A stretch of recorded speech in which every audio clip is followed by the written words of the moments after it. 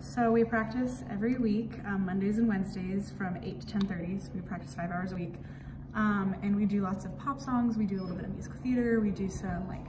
jazz songs, we do some Christmas songs, we do just about anything you can think of, um, and it's super fun. Um, so we usually do our own concerts, like we'll hold concerts every semester just for like Boots and Cats, the show we've been working on. Um, we also perform at gigs where people hire us, so like just a couple weeks ago we performed at a gala um, for the Nebraska of the Year ceremony and just little things like that um, here and there where people will ask us to come and sing either with their groups or for like an event that they're having.